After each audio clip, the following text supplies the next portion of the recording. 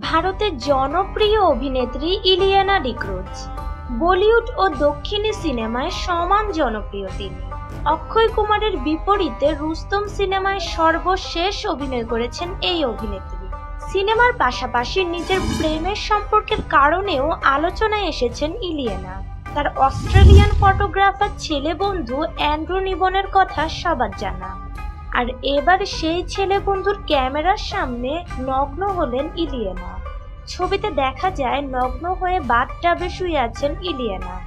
শুধু নগ্ন হয়ে ছবি তুলেছেন তা কিন্তু নয়, ইনস্টাগ্রামে সেই ছবি ভক্তদের জন্য পোস্ট করেছেন তিনি। আর পোস্ট করার পরই তা ভাইরাল হয়ে যায়। এই অভিনেত্রীর পরবর্তী সিনেমা মুবারকা ও বাদশাহ। ইলিয়ানা ছাড়াও মুবারকা সিনেমায় আরও অভিনয় করেছেন অর্জুন কাপুর অনিল কাপুর আথিয়া শেঠি প্রমুখ।